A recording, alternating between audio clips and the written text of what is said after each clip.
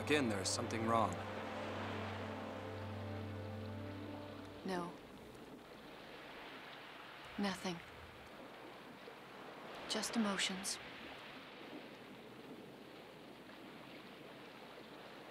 Feelings. Explain feelings.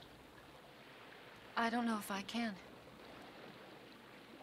Water from your eyes, twice. Explain. Well, when you get attached to someone and you're close, you feel happy.